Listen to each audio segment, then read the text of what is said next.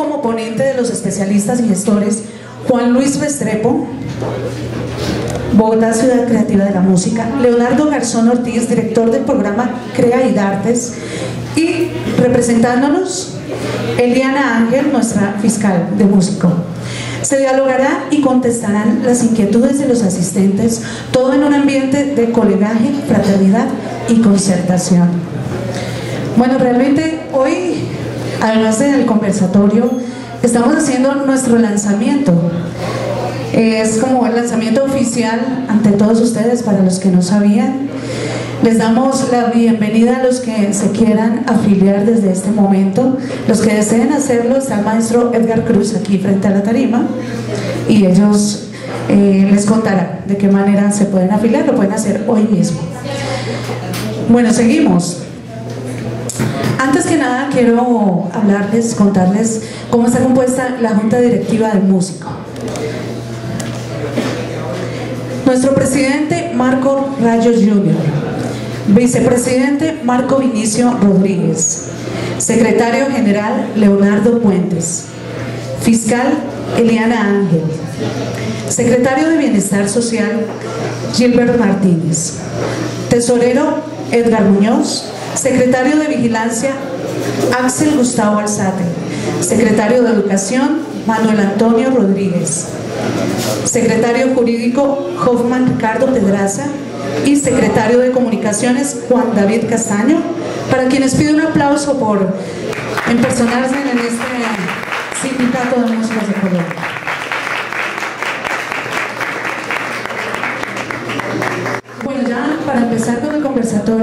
Eso, queremos que sepan quiénes nos van a acompañar. Vamos a hacer una reseña muy cortica de cada uno de ellos. Tendremos dos invitados uno de ellos es Leonardo Garzón Ortiz, es licenciado en Pedagogía Musical y magíster en Docencia Universitaria de la Universidad Pedagógica Nacional. Fue coordinador del programa de música de la Facultad de Artes de la Universidad Distrital Francisco José de Caldas, coordinador del componente de formación del Plan Nacional de Música para la convivencia del Ministerio de Cultura, gerente de música de Bogotá entre 2008 y 2012, asesor para la educación artística de la Secretaría de Educación Distrital de Bogotá y del Ministerio de Cultura. Actualmente es el coordinador del programa CREA del Instituto Distrital de las Artes de Bogotá, destacado intérprete de la bandola andina, director de orquesta y arreglista, para quien pido un aplauso de bienvenida, por favor.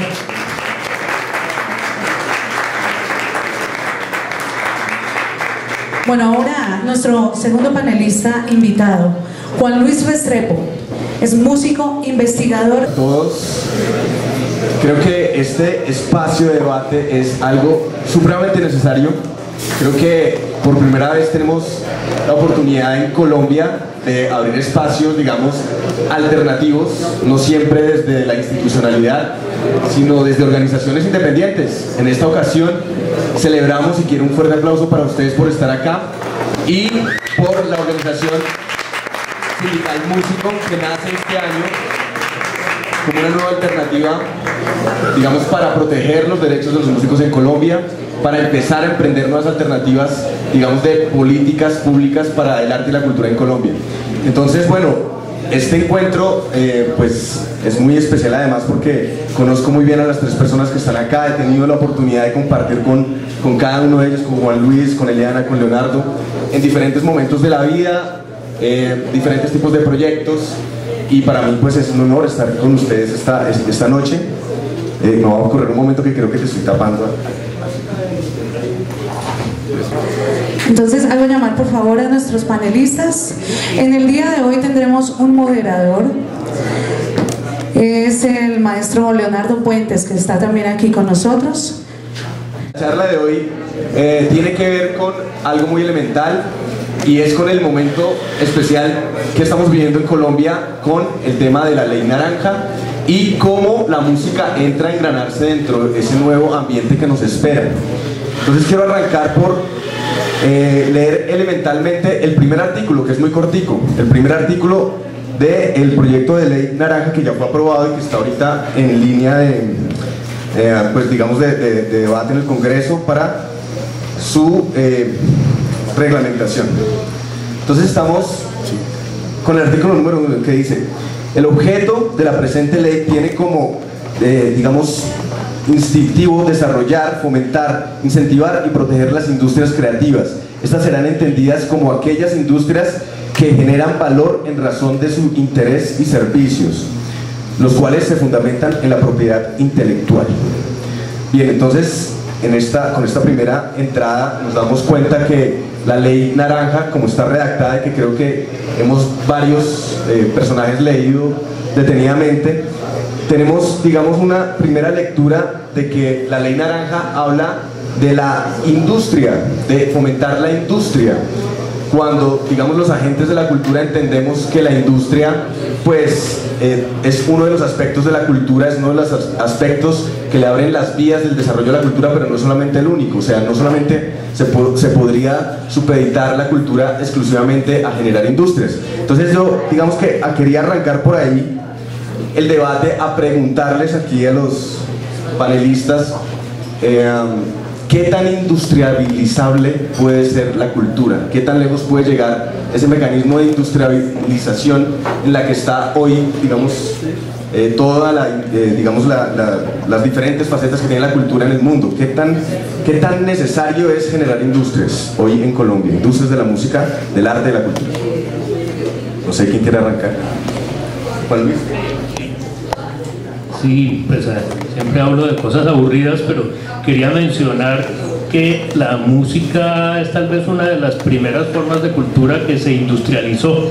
Es decir, desde 1510 empezaron a hacer imprenta musical. Esta ya fue una primera manera de reproducir mecánicamente una composición y venderla, es decir, obtener un rédito económico por una creación intelectual, artística y de ahí en adelante no hemos parado. Digamos, eh, esto para decir que la música y creo que otras manifestaciones culturales, aunque no, es se lo, no se lo hayan propuesto como objetivo, sí han generado, no hablemos de industria, porque la industria pues ya es un concepto, digamos, de más adelante, pero también quiero mencionarlo muy brevemente, pero sí negocio, es decir, el negocio de la, la, la cultura siempre ha generado negocio eh, más adelante las orquestas, por ejemplo, me ponía a pensar, eh, uno piensa que las orquestas siempre fueron como un paradigma de las ciudades o de los gobiernos, pero en realidad surgieron como negocio. Es decir, los teatros eh, cuando no había amplificación de sonido, eh, se construyeron grandes teatros y para llenarlos se hacían grandes espectáculos con una cantidad de músicos y tratando de tener, eh, digamos, la mayor potencia sonora y calidad y complejidad de espectáculos musicales y eso dio origen al negocio de la ópera, al negocio de las orquestas y por lo tanto a unas formas de contratación de músicos que tenían que ver con esta lógica industrial. Necesitamos 50 de orquesta, 50 cantantes, 70 bailarines y su, em, pues, no era un gobierno, era el empresario de ópera que o se enriquecía o se quebraba con una nueva ópera, el negocio del espectáculo, digamos, que fue casi todo el siglo XIX. El otro factor que quería señalar es el de tecnología. Pues, cuando empieza la amplificación, el registro fonográfico, se da otro fenómeno que para nosotros sí es muy claro, que es que eh, músicas que originalmente fueron pensadas para un entorno doméstico o cultural muy cercano, se fijaban fonográficamente, las tomaba una empresa un empresario, las reproducía, las vendía, las metía en la radio y digamos que generaba un beneficio económico para él, de pronto también para el autor, pero quedó no tan claro, sobre todo en el caso de Colombia, con autores que digamos estaban cantando música de su región eh, entonces cuando uno oye la maestranza puede ser que el, motivo que está cantando el maestro eh, de los gaiteros de San Jacinto que lo grabó con eh, Sony por allá Toño, Toño Fernández. Toño Fernández, el maestro Toño. Posiblemente estaba repitiendo un motivo musical al cual él, le puso su toque personal pero finalmente no se entiende toda la complejidad de la cultura que traía detrás cuando se simplifica en un contrato que debió hacer con la disquera en ese momento y entonces entraron ahí para nuestra cultura de una manera muy clara, en concreto, esas prácticas ahí sí, industriales y comerciales y unas culturas ancestrales. Eh, seguimos hoy todavía en ese debate que se vuelve cada vez más complejo cuando entramos con la tecnología de grabación que permite que con un celular yo monte en YouTube un video de un maestro mayor o de una comunidad indígena haciendo una ceremonia y pues se vuelve un algo que circula igual que una canción de la industria, pero no son la misma cosa. Entonces esto para cerrar tal vez diría que la relación de la cultura y en particular de la música con la industria o con el negocio no es nueva, pero sí es y ha sido problemática. Bien, eh, para continuar en la línea de lo que estás apuntando, que me parece clave, es que el texto dice algo que recuerdo acá, dice estimular aquellas industrias que generan valor. Ok, entonces, para pasarles el micrófono a ustedes, ¿será que las que no, aquellas otras culturas, partes de la cultura que no generan valor, no sé, las tradiciones orales, ciertas costumbres, ciertas tradiciones que no generan valor, ¿será que entonces ellas no entran dentro de la ley naranja? ¿Será que... Exactamente, o, será que el valor solamente tiene que ser monetizable? Entonces... Bueno, buenas noches. Eh, la verdad creo que el tema de industria musical, hablando directamente de la música, viene de mucho tiempo atrás. Y el problema es lo que está pasando en este momento realmente, porque antes se medía al artista a través de la venta de discos, pero en este momento a través de la era digital hemos tenido un cambio total y la industria que no se podría llamar industria porque no tenemos una máquina que esté creando músicos, ni una máquina que esté creando personas que hagan cierto trabajo, sino que se están haciendo unas grabaciones, pasó de ser la venta de discos a la venta de conciertos. Entonces aquí es donde nosotros empezamos a generar un cambio y donde tenemos también que empezar a ver de qué manera esos productos que nosotros hacemos o esa, el arte que nosotros manejamos podemos venderlo, porque es, esa es nuestra labor. Siempre hemos dicho que el arte no se debe quedar dentro de nosotros ni dentro de una escuela ni dentro de la casa, sino que el arte debe salir. Y cada uno de nosotros que ha decidido tener el arte como una profesión, sabemos que también debemos generar unos ingresos para poder subsistir, porque eso es lo que nos está generando el arte que nosotros hacemos. Cuando hablamos de industria y cuando revisamos el tema de la ley naranja, si nos estamos hablando de productos. El tema aquí es que quedó demasiado amplio el tema cuando dicen productos porque no especifica cuáles productos, cómo van a ser los productos. Entonces es donde entra el tema de quién va a manejar o cómo se va a hacer esa industria que sí necesitamos, porque efectivamente necesitamos que nos den guías para nosotros empezar a llevar nuestros productos hacia afuera o esa industria que estamos nosotros creando. Cuando un músico como nosotros, está, como tú lo decías Leonardo, de la música tradicional y lo hemos visto y lo vivimos cada día, es una persona que ha aportado al folclore, pero jamás ha sido difundida su música en la, en la radio, que es el otro obstáculo que tenemos. Vemos que esa música de tradición oral se está perdiendo y también vemos que el tema de, de llevar esa música la, que la ha tomado otra persona y la ha presentado, ha dejado a esa persona sin el recurso con el que trabajó. Entonces ahí es donde uno dice, ¿es necesaria o no es necesaria? Si usted hubiera tenido una persona que le hubiera llevado a emprender, a llevar esa música, a volverla de una manera comercial, muy seguramente eso que usted hizo no se hubiera perdido. Nosotros tenemos ese problema aquí en Colombia y en todo el mundo, donde usted hace una canción y como dice el maestro, usted está haciendo una canción, a mí me pareció chévere, yo lo grabé, resulta que usted jamás ha llevado a eso para que le pongan sus derechos de autor y yo la cojo y la hago mía. Entonces, sí es necesario empezar a crear una empresa más que una industria, empezar a generar esas vinculaciones que nos hagan cada vez llevar nuestros productos a unas personas diferentes, a que se conozcan en diferentes regiones. Si nosotros tenemos, eh, viajamos de pronto al Cesar y vamos a Valledupar, vamos a encontrar una experiencia totalmente diferente del vallenato. Desafortunadamente, la industria mal manejada nos ha llevado a pensar que el, el, vallenato solo tiene unos exponentes y son los que escuchamos constantemente en la radio. Entonces, vamos viendo que cada vez el tema de la ley naranja se queda corto y cuando vayamos a trabajar el tema de reglamentación de la manera en la que está abierto el tema, sobre todo ese, va a ser muy difícil manejarlo. Porque empecemos por un factor esencial. Todavía aquí en Colombia no tenemos el reconocimiento de artista, de quién es un artista y de cómo lo podemos reconocer.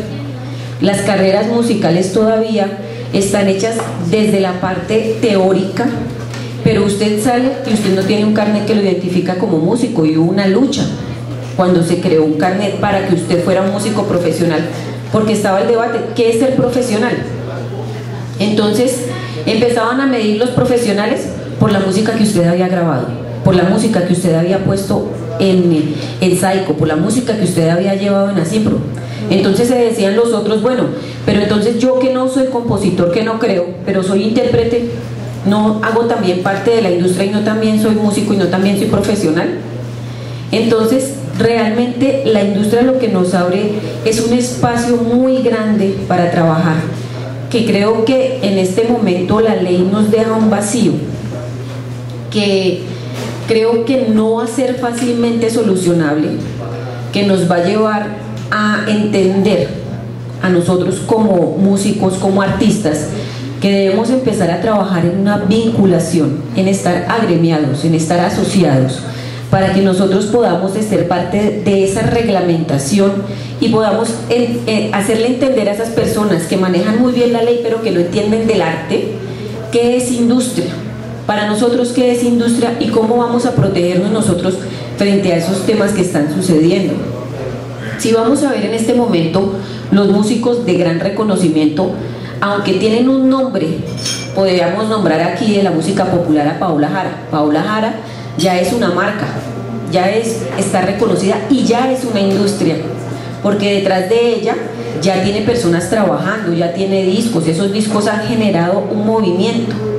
Pero ¿qué pasa con Don Pedro, el que toca en la esquina, que también tiene una agrupación que ha estado trabajando, que ha grabado, pero como no tiene el recurso económico, como no tiene para pagarle a la emisora para que lo pase, no es industria también una industria más pequeña, pero una industria no reconocida. Entonces, aquí volvemos al tema de que nosotros necesitamos cambiar, necesitamos trabajar en equipo para que esta ley que nos están presentando y este espacio que se nos está abriendo realmente termine en beneficio de nosotros y no en contra de nosotros. Entonces creo que sí es necesario empezar a trabajar en el tema de qué es una industria y cómo crearla. Bueno, para pasarle el micrófono a Leonardo Garzón, eh, apunto algo de lo que acabas de decir, Eliana, que son esos vacíos que de pronto estamos encontrando lentamente leyendo una y otra vez la ley, ¿no? Eh, y aquí quiero apuntar a Leonardo para pasarle el micrófono, es en la medida en la que nosotros como especie humana llevamos miles de años tratando de encontrarnos culturalmente, de hacer intercambios culturales, tenemos ejemplos de industrias, ya tú mencionabas algunas desde hace unos cientos de años, pero incluso antes, la industria no siempre tenía que ser monetizable. Las industrias no necesitaban tener un capital, digamos, económico de fondo. Eh, Arata, que fue, digamos, el primer imperio que tiene muestras arqueológicas que, digamos, dan vestigio en que había, digamos, una industria cultural alrededor de unas vasijas que, que ellos mismos exportaban a diferentes reinos en Omán, en Afganistán, en, eh, las, digamos, en las eh, llanuras de las culturas mesopotámicas. Entonces, desde allí ya encontramos vestigios de que el hombre hacía intercambios con objetos que representaban su cultura. Pero no tenían, digamos, un propósito de capital o de enriquecimiento, ¿cierto? O sea, las pirámides de Egipto se hicieron y están allí todavía sin esperar que, o sea, no, no tenían ningún propósito de generar riqueza. O sea, el propósito era simplemente generar, digamos, el acercamiento de un ser humano al otro mundo. tal vez eh, Akenatón no se imaginó que dos mil años después eso iba a generar dos mil millones de dólares al año en riqueza en turismo, ¿cierto? Eh, lo mismo el, oráculo de Delfos en Grecia, tal vez allá llevaban ofrendas de chivos y llevaban ofrendas de gallinas, etcétera, para que el oráculo, la pitonisa, les contara la verdad sobre el futuro. ¿sí? Pero eso no generaba riqueza a las pitonisas, era, digamos, una ofrenda divina excesiva. Entonces no existía ese concepto de hoy de monetizar, de capitalizar y de riqueza. Quería dejar eso ahí como para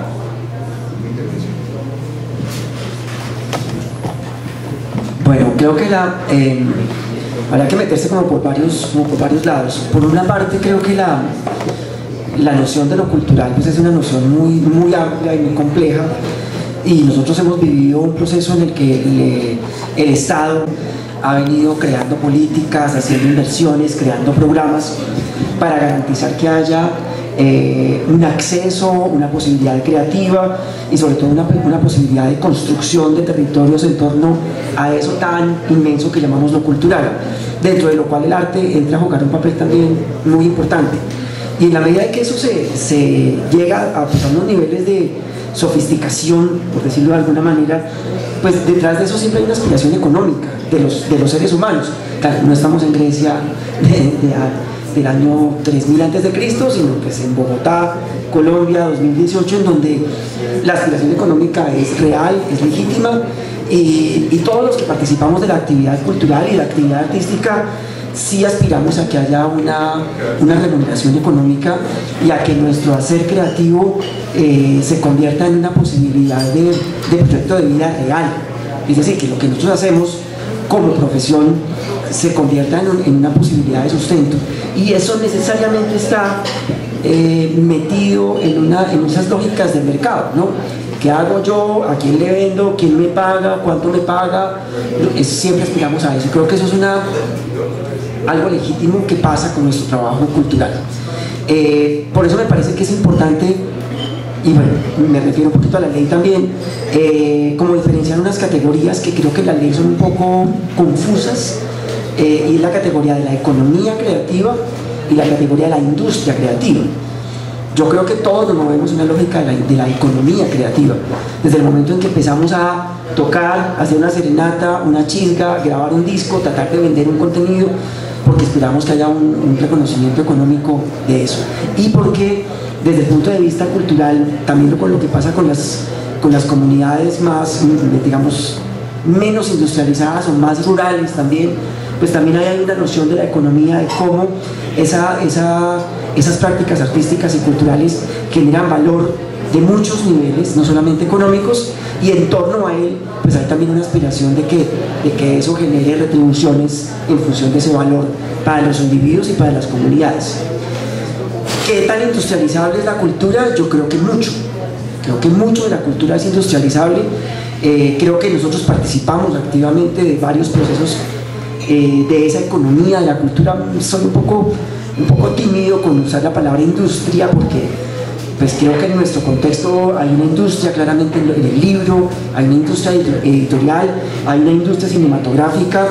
En la música creo que hay, hay ciertos niveles de, de lo que pasa en nuestra ciudad y en nuestro país que hacen parte de una industria de una industria del entretenimiento muy potente, pues de empresarios muy grandes que traen conciertos, que venden taquillas, hay festivales que son netamente como esa lógica de la industria, pero detrás de eso hay una economía de la cultura que permanentemente se mueve de maneras muy diversas y creo que, creo que es necesario.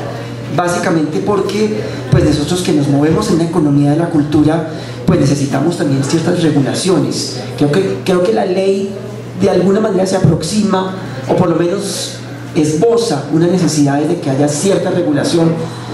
Creo que hay otras iniciativas legislativas, algunas que no han tenido éxito, que creo que son un poco más específicas en cómo lograr cierta regulación frente a la práctica artística y a la práctica cultural, eh, frente a los derechos de autor, frente a la exposición o la divulgación pública que tengan las obras y yo creo que eso es necesario. Creo que es, eh, yo saludo que haya una iniciativa legislativa como esta, que creo que, pues como ya lo mencionaron, sobre todo Eliana, pues hacen falta algunos, algunos eh, dientes legislativos que le den un poco más de precisión, pero yo siento que es necesario y que se convierte en una oportunidad.